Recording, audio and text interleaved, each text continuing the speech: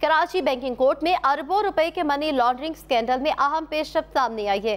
F I A کی ہدایت پر omni group کے انیس اداروں کے بینک اکاؤنٹس منجمد، انیس اداروں کے بینک اکاؤنٹس میں تینتیس۔ کروڑ سے زائد رقم موجود ہے۔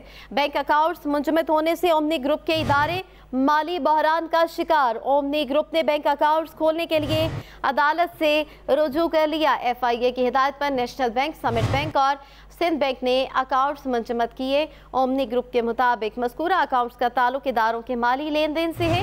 اکاؤنٹس منجمد ہونے سے اداروں کو کروڑوں کی ادائیگیاں اور وصولیاں رک جائیں گی۔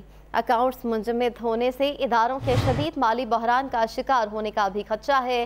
ایف آئی اے کو بینک اکاؤنٹس کھولنے کی ہدایت دی جائے۔ اومنی گروپ کی جانب سے یہ کہا گیا ہے، کراچی سے خبر دے رہی ہے بینکنگ کورٹ میں اربوں روپے کے منی لانڈرنگ سکینڈل کے حوالے سے۔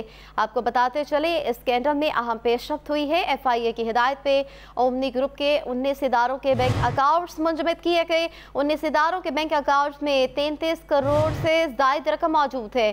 بینک اکاؤنٹس منجمد ہونے سے اومنی گروپ کے ادارے مالی بحران کا شکار اومنی گروپ نے بینک اکاؤنٹس کھولنے کے لیے عدالت سے رجوع کر لیا ایف آئی اے کی ہدایت پر نیشنل بینک، سامر بینک اور سندھ بینک نے اکاؤنٹس منجمد کی ہے مذکورہ اکاؤنٹس کا تعلق اداروں کے مالی لین دین سے ہے۔ اکاؤنٹس منجمد ہونے سے اداروں کی کروڑوں کی ادائیگیاں اور وصولیاں رک گئیں۔